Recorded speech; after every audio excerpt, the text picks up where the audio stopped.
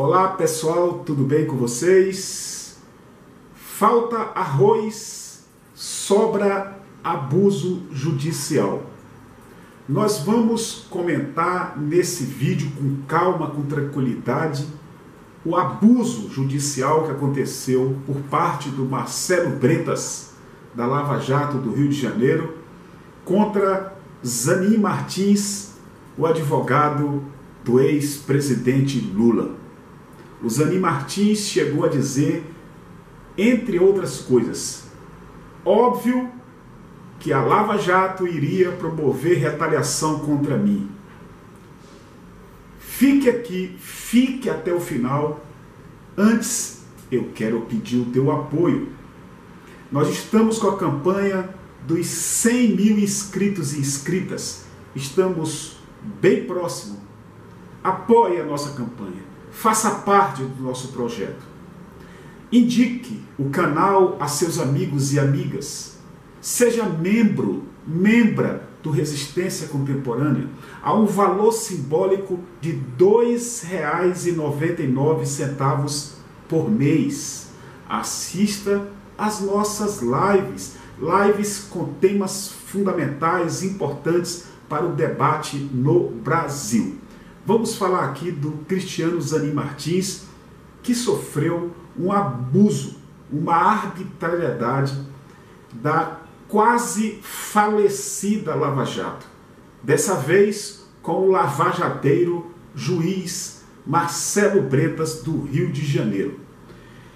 É importante que a gente entenda que essa, o contexto dessa invasão da residência do Zanin e do escritório onde os advogados da equipe que defende o Lula trabalham. Essa operação é uma operação autorizada pelo juiz Marcelo Bretas da Lava Jato do Rio de Janeiro. Essa operação também tá, do Ministério Público e da Polícia Federal investiga desvios de cerca de 150 milhões de reais do Sistema S e da Fê Comércio do Rio de Janeiro.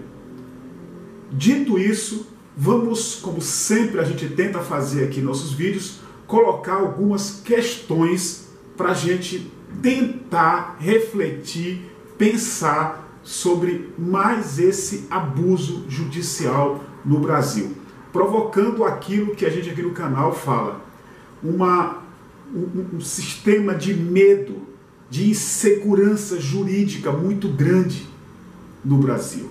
E isso vem acontecendo já há bastante tempo, principalmente a partir de 2014, quando cercaram, sitiaram o governo Dilma Rousseff. Então, algumas questões. A primeira, Zanin é advogado do ex-presidente Lula. Lula acabou de fazer um discurso, um discurso político importante na segunda-feira, se colocando como alternativa para 2022. Zanin e sua equipe vêm atuando já há bastante tempo para valer desde 2016 para desmascarar os abusos da Lava Jato a nível nacional. Esse é um ponto importantíssimo que a gente precisa entender. Outro ponto importante. Desde 2016, a Lava Jato vem perseguindo os advogados de Lula. A operação, não sei se vocês lembram, grampeou todos os telefones, né, o tronco que distribui os telefones para todo o escritório do Zani Martins. Outro ponto fundamental que a gente precisa destacar: Marcelo Bretas é ligado à família Bolsonaro é ligado a Jair Bolsonaro. É pública, é pública esta ligação, todo mundo sabe, tem fotos e, e tudo mais. É, Bretas, Bretas é um dos candidatos à vaga do Supremo Tribunal Federal. Como vocês sabem, há uma corrida para essa vaga que vai surgir agora em novembro com a aposentadoria do Celso de Mello. Outro ponto fundamental: o delator deste caso é assistido pelas advogadas que assumiram recentemente também a defesa de Flávio Bolsonaro no caso Queiroz. Quem são as advogadas? Juliana Berrenbach Bonetti e Ana Reimann, a Ruth. Então, é um importante detalhe para a gente tentar entender esse abuso judicial do Marcelo Bretas, do Ministério Público, hoje contra Zanin. Essa operação, como todo mundo sabe, e as palavras que eu vou falar agora para fechar o vídeo foram ditas pelo próprio Zanin Martins. Essa operação é uma grande violação à reputação do Zanin Martins e à reputação do escritório dele.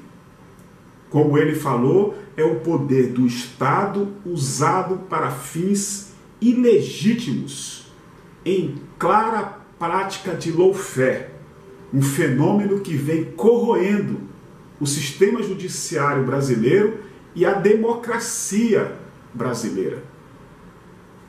Pense, olha para terminar o que o Zanin falou hoje. Óbvio que a Lava Jato iria promover retaliação contra mim.